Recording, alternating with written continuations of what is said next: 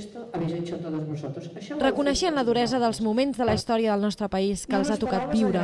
D'aquesta manera s'ha adreçat l'alcaldessa Calamanda Vila als avis i àvies de Cardedeu en l'acte de commemoració dedicat a la gent gran. La celebració ha girat entorn un berenar sopar i l'entrega dels premis per als ancians i els voluntaris. En primer lloc, medalla al centenari Pedro Cabezas, que ja té 103 anys. Seguidament, placa commemorativa a la tasca de l'Associació de Jubilats de Cardedeu i l'Associació de Veïns de l'Estalvi.